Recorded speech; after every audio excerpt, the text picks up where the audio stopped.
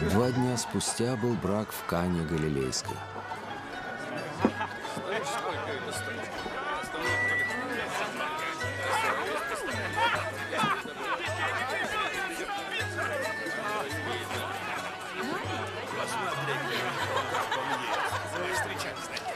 Он меня и пригласил.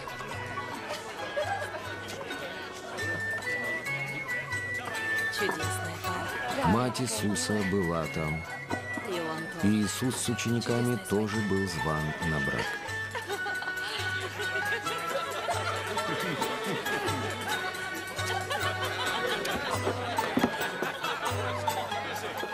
Надо подать вино. Да все уже выпили. Да быть этого не может. Все? Когда вино закончилось, мать Иисуса сказала ему, у них нет вина. Женщина, что тебе и мне до того? Еще не пришел мой час. А вина больше нет? Что он вам скажет, то сделать и должен. Ничего не поделаешь. У иудеев есть обычай ритуального омовения.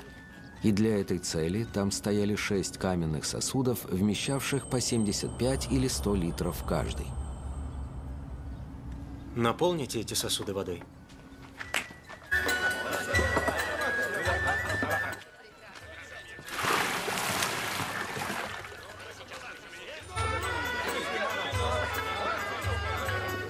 Они наполнили их доверху. Теперь зачерпните воды и отнесите к распорядителю пира.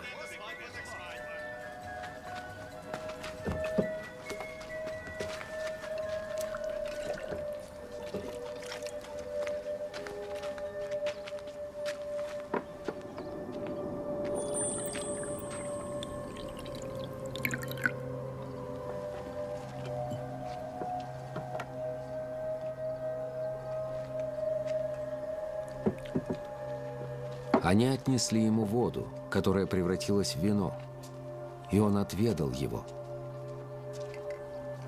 Он не знал, откуда это вино. Знали только слуги, которые зачерпывали воду. Тогда он позвал жениха. На торжествах все подают сперва лучшее вино. А когда гости уже напьются, то, что похуже. А ты сберег лучшее вино под конец.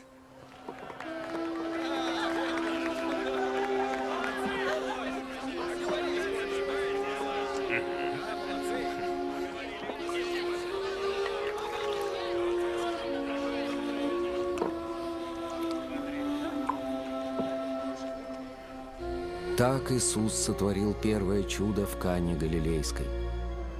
Там Он явил свою славу, и Его ученики уверовали в Него.